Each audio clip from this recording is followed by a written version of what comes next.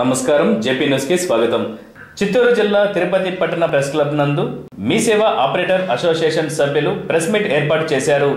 ఈ press meet నందు association నాయకులు మాట్లాడుతూ చిత్తూరు జిల్లాలో యాభై ఆరు మీ సేవా కేంద్రాల్లో ఆధార సేవలు నడుస్తున్నాయని వాటిలో ప్రస్తుతం ముప్పై ఆరు సెంటర్లలో మాత్రమే ఆధార్ లింక్ పనిచేస్తుందని ఆధార్ సేవలు ఒక్క రోజుకి సర్వర్ సరిగా లేనందున ముప్పై నుంచి నలభై మందికి మాత్రమే చేయగలుగుతున్నామని అయినా ప్రభుత్వ సెలవు దినాలలో సైతం ఉదయం తొమ్మిది గంటల నుండి రాత్రి ఎనిమిది వరకు పనిచేస్తున్నామని అన్నారు.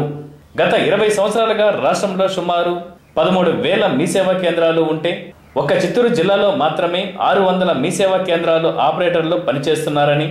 అయితే మీసేవా కేంద్రాలలాగే ప్రస్తుతం స్టేట్ బ్యాంక్ మరియు పోస్ట్ ఆఫీసులలో కూడా ప్రభుత్వం సేవా కౌంటర్లను అందుబాటులో ఉంచిందని ఇది ప్రజలందరూ గమనించాలని కోరారు. అంతేకాకుండా రెండు వేల పదహారు జూలై నెల నుండి ఆధార్ సేవలకు సంబంధించిన కమిషన్ ప్రభుత్వం ఇంతవరకు విడుదల చేయలేదని ప్రభుత్వంపై ఆవేదన వ్యక్తపరిచారు. ఈ ముప్పై ఆరు కేంద్రాలనే చిత్తూరు జిల్లాలో అందరూ చేసుకోవాలి. కాబట్టి అందరూ ఇట్లా పడడం వల్లే ఈ జనాలు ఎక్కువైపోతున్నారు. కాబట్టి బ్యాంకులకు బిఎస్ఎన్ ఆఫీస్కి హెడ్ పోస్ట్ ఆఫీస్కి తిరుపతి తిరుపతిలో పదహారు సెంటర్లు ఉన్నాయి. పదహారు సెంటర్లు స్ప్రెడ్ కావాలని ప్రజలు కోరడమైనది అలాగే రెండు వేల పదమూడు నుంచి ఇప్పుడు దాకా మీ సేవ ఆధార్ సెంటర్ నడుస్తుంది. కానీ రెండు వేల పదహారు నుంచి ఇప్పుడు దాకా కమిషనర్లు కూడా ఇంకా ఆధార్ సెంటర్లో పడలేదు. అయినా కూడా కమిషన్లు పడకపోయినా కూడా ప్రజల సేవలో ఇప్పటికీ మీ సేవా కేంద్రాలు జరుగుతూనే ఉంది ఎందుకంటే మినిమం గవర్నమెంట్ ఛార్జెస్తోనే మేము చేస్తున్నాం. కాబట్టి దయచేసి అది గమనించగలరు. అలాగే ప్రజల సేవలకు అనేసి మీ సేవా కేంద్రాల్లో ఈ మధ్య ఆదివారాల పూట ప్రభుత్వ సెలవుల్లో కూడా మేము చేస్తాం పనులు అది కూడా గమనించగలరు. ఎందుకంటే ప్రజలు ఎక్కువ ఇబ్బంది పడుతున్నారనే ఒక కారణం వల్లే ఇవన్నీ మేము చేస్తున్నాం.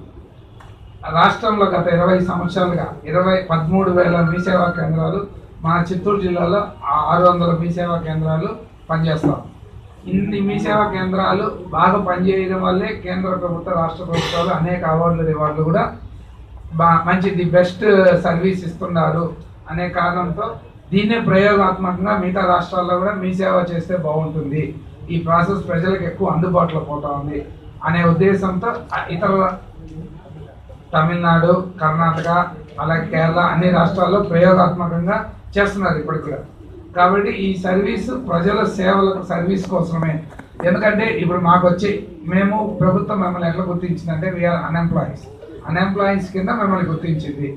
ఆ ఒక కారణంతో మేము ఇంకా వేరే ఎక్కడికి పోయి ఇంకో పనులు చేసుకోలేము కాబట్టి ప్రజల సేవల్లోనే కమిషన్ ఇచ్చినా ఇవ్వకపోయినా ఎక్కువైనా ఇప్పుడు ప్రజలు ఎక్కువ మంది వస్తారు